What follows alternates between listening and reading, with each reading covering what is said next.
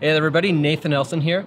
Now I saw something on Instagram the other day that it got me thinking and I just wanted to have a conversation with all of you about it. And I'm gonna paraphrase here because I don't remember exactly what it was that the post said, but it was something along the lines of acknowledging your inspirations doesn't make you less of an artist, but stealing does. And well, I've got some thoughts on that. So if you guys got a few minutes, stick around, I'll share them with you.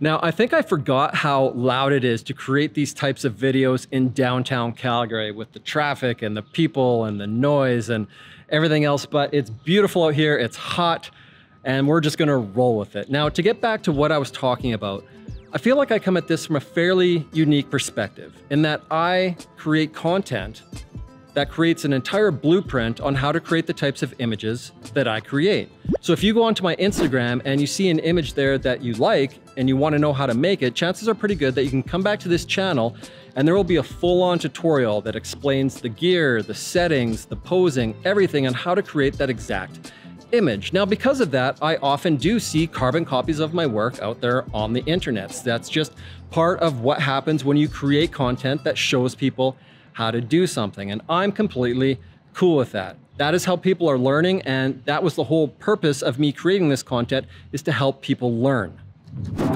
And not only that, I can't really say that I can even take full credit for every image that I create. Now, I'm influenced like everyone else from outside things, be it movies, other photos, life, any of the above.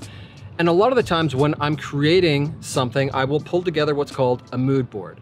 And what that mood board is, is a collection of images or video, anything that can visually represent closely what it is that I have in my head that I want to convey to either the model or the makeup artist or the client or the stylist or any of the above so that they have a visual idea of what it is that I want to create.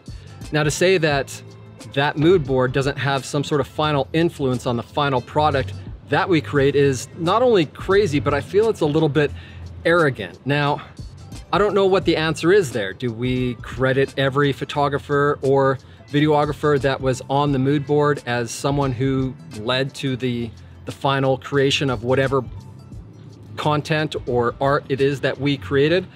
No, I think again, that that's quite crazy. But I do have some thoughts, if you will, on what I think the answer is to this whole situation. And my thoughts on this are actually pretty straightforward as a whole. Number one, aspire to create the type of work that people want to steal. If you are creating work and people are taking from you, that's usually a pretty good indicator that you're on the right track. And number two, create work that's so good that if somebody does take from you, you don't feel threatened by it.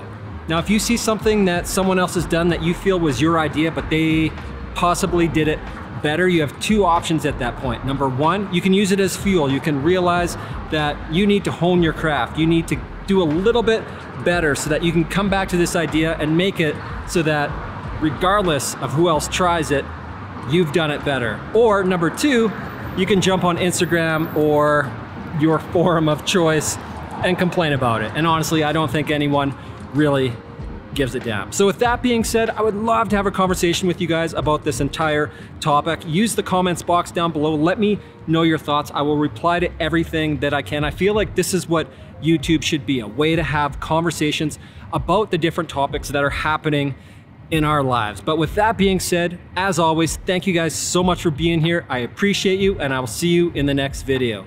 Cheers.